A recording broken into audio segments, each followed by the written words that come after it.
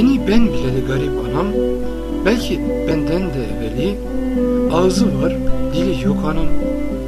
Seni öyle bir özledim ki bilemezsin, her türlü zorluğa göğüs geren anam.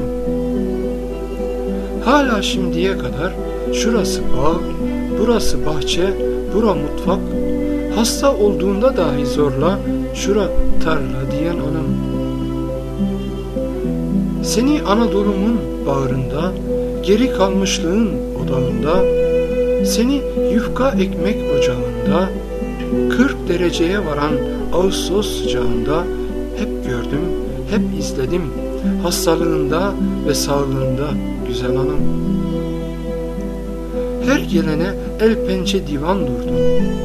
Herkes uyurken sen az uyudun. Hayatın değirmeninde ufaldın, bizler için didindin durdun. Nasıl ki çocukluğumda başucumda sen, korurdun beni husumetlerden. Yemezdin, yedirirdin, giymezdin, giydirirdin, cefakar anam. Hiç bilmedin kadın haklarını, bilmedin doğum haplarını. Onun için halinden şikayet etmedin hiç. Benim garip anam, çilekeş anam. Bilmiyordun televizyonu, dizileri, bilmiyordun şehirleri, apartmanları. Seni durmadan her zaman sömürdüler. Başına bir kafi, ağzına yamşak bağlayıp susurdular. Günah dediler, ayıp dediler, avratsın kadınsın dediler. Saçı uzun, aklı kısa dediler. Hiç değer vermediler, insanlıktan sildiler.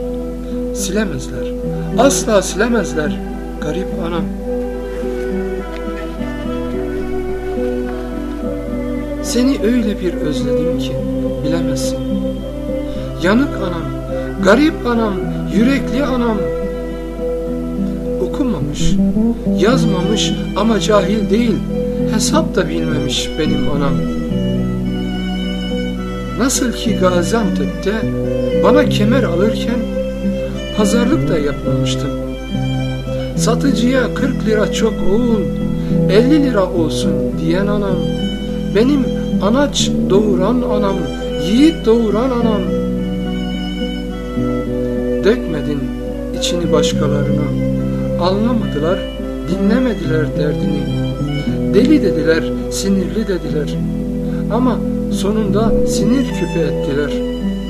Edemezler garip anam, edemezler. Yunus'a giden taptık, gıpta ederler baksana artık. Her şey mazide kaldı, unut artık. Garip anam, cefakar anam. Hasretim saçının sarı teline, mailim ela gözlerinin rengine. Garip anam, dürüst anam, birilerine belki yılda bir, benim her gün anam, her saniye anam. Silemezler kalbimden asla seni, mazlum anam, pınar anam, gül anam.